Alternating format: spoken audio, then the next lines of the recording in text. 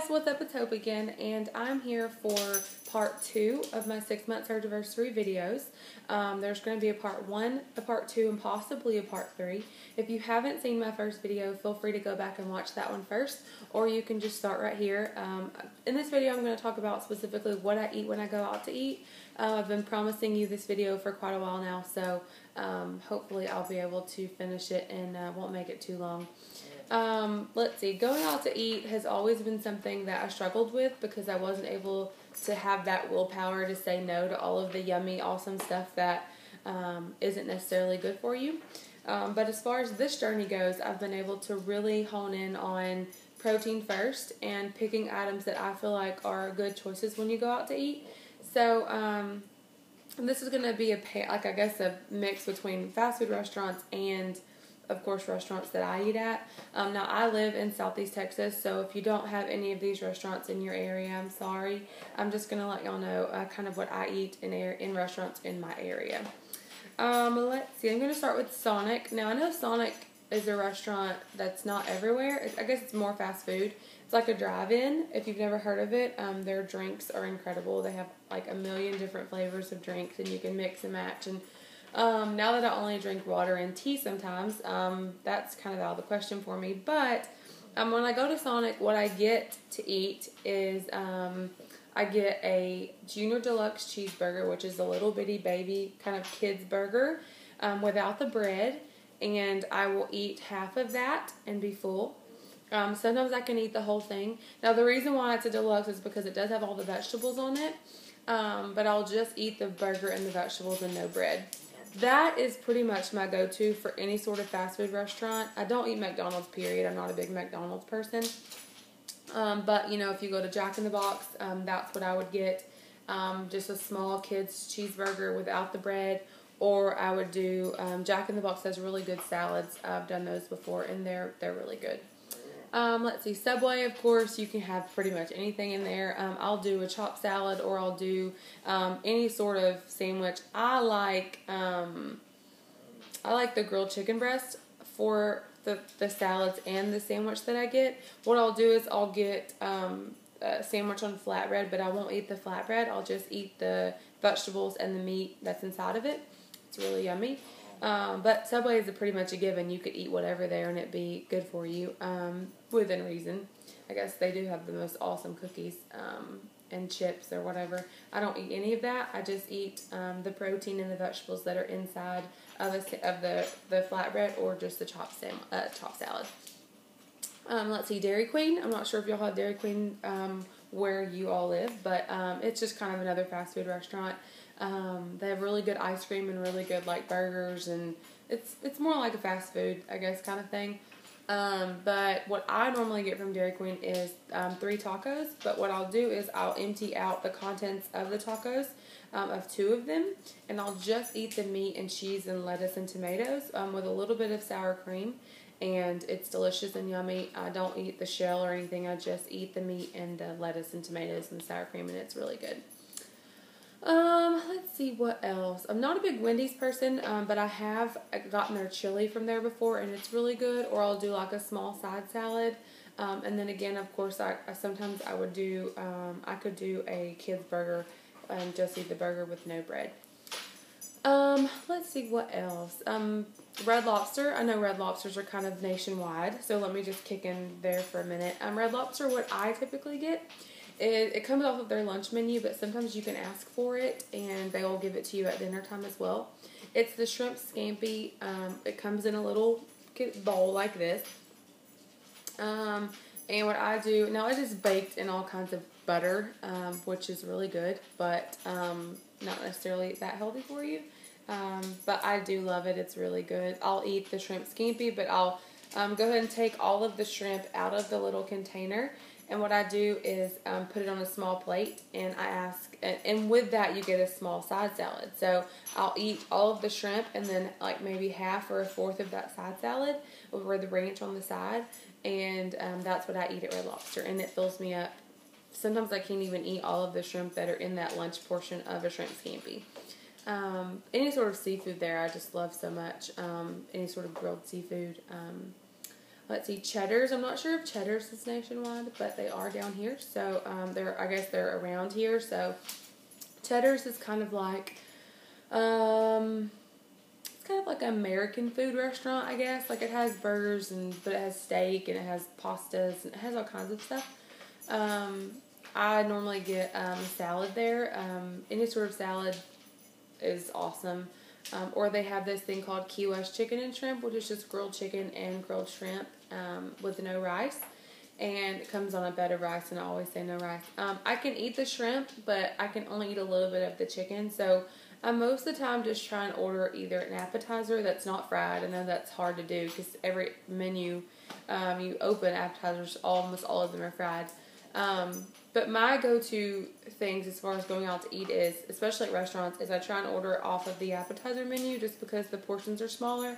Um, always, you know, do something that's grilled or baked, never anything fried. Um, and I don't do any sort of sides really unless it is a vegetable. But most of the time, I don't really have room for that. So um, if I have, my husband has two small children from a previous marriage. If we have the boys with us, um, then you know I'll let them eat my sides, which kind of comes in handy.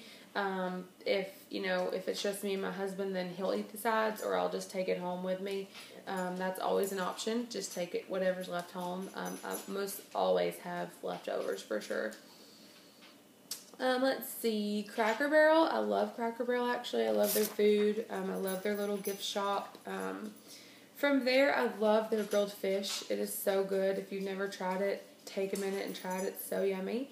Um, their salads are really good. I love them. They also do chicken tenderloin. It's just kind of grilled chicken strips, but it has cheese and bacon on it.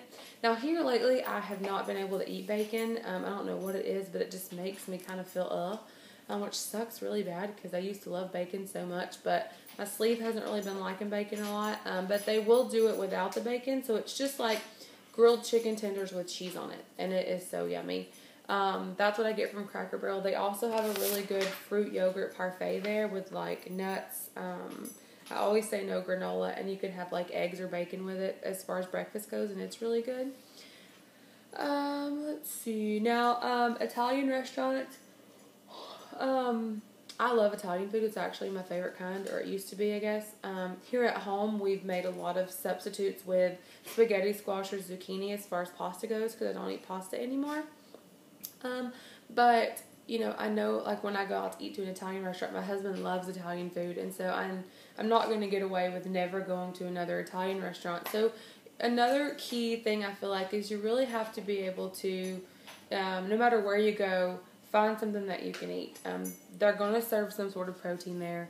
They're going to serve some sort of vegetable there. Um, I don't. I just don't want my family to feel like because I'm with them, we have to go to special places to eat. I mean um, honestly, I could eat anywhere. So um, that's kind of the mind frame I've been in here recently. Is I don't want my family to suffer for the choices that I'm making. So um, not that they're really suffering anyway, um, but you never know. Um, I've kind of heard that. So um, anyway, uh, so for Italian food. Um, I always get like a salad, or I'll do some sort of zucchini. They have like, um, or a eggplant parmesan, or they'll have um, like a baked eggplant parmesan. Um, a local Italian restaurant does that. It's not fried; it's actually baked, and it's so good.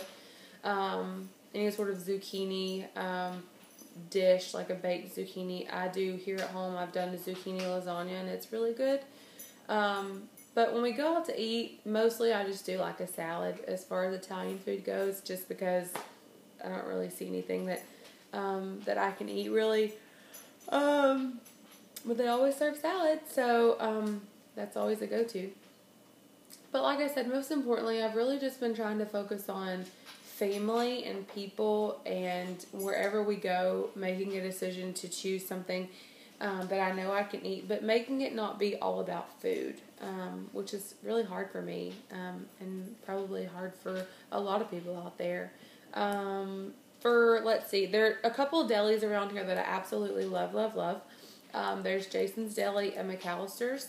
Um, McAlister's, um, I'm not sure how far up they go from Texas, uh, or Jason's Deli even really, but um, McAlister's I will do. Um, they have a really good taco salad, um, and they actually put chili in it and um, lettuce and just all these really awesome vegetables, and it's so good.